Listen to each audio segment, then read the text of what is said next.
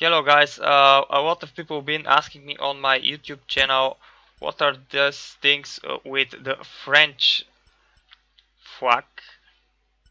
So uh, basically those are trace ammo and let me show you how they works.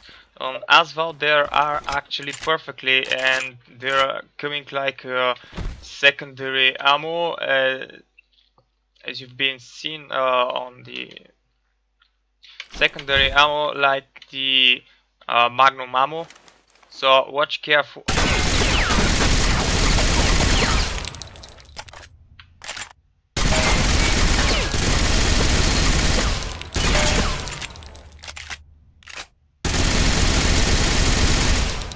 Isn't it cool? Wow, the the bad thing is that uh, it's actually uh, expose your position.